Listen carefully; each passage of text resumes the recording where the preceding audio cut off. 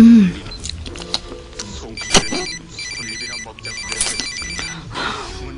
어, 나 지금 바빠. 감동적이었어요. 나 막 울었잖아.